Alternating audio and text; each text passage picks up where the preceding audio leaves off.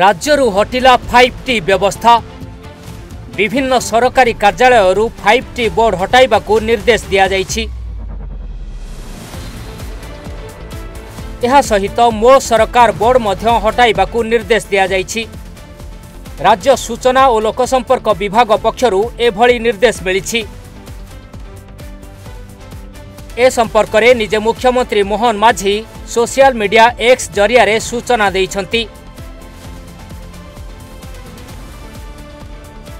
ପୁଣି ଥରେ କହି ରଖୁଛୁ ଦର୍ଶକ ବନ୍ଧୁ ଏଇ ଏବେ ଏବେ ଆସିଛି ଏକ ଗୁରୁତ୍ୱପୂର୍ଣ୍ଣ ଖବର।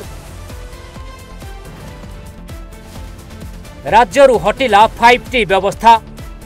ବିଭିନ୍ନ ସରକାରୀ କାର୍ଯ୍ୟାଳୟରୁ ଫାଇଭ୍ ଟି ବୋର୍ଡ ହଟାଇବାକୁ ନିର୍ଦ୍ଦେଶ ଦିଆଯାଇଛି। ଏହା ସହିତ ମୋ ସରକାର ବୋର୍ଡ ମଧ୍ୟ ହଟାଇବାକୁ ନିର୍ଦ୍ଦେଶ ଦିଆଯାଇଛି। ରାଜ୍ୟ ସୂଚନା ଓ ଲୋକସମ୍ପର୍କ ବିଭାଗ ପକ୍ଷରୁ ଏଭଳି ନିର୍ଦ୍ଦେଶ ଜାରି କରାଯାଇଛି।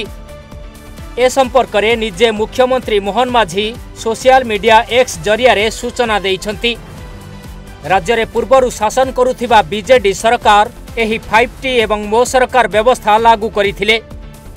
ଯାହାକୁ ନୂଆ କରି ଶାସନ କ୍ଷମତାକୁ ଆସିଥିବା ବିଜେପି ସରକାର ହଟାଇ ଦେଇଛନ୍ତି। ପ୍ରଶାସନିକ ସ୍ତରରେ ସ୍ୱଚ୍ଛତା ଆଣିବା ପାଇଁ ବିଜେଡି ସରକାର ସମୟରେ ଲାଗୁ ହୋଇଥିବା ଫାଇଭ୍ ଟି ଏବଂ ମୋ ସରକାର ବ୍ୟବସ୍ଥା ଆଜି ହଟାଇ ଦେଇଛନ୍ତି ବିଜେପି ସରକାର।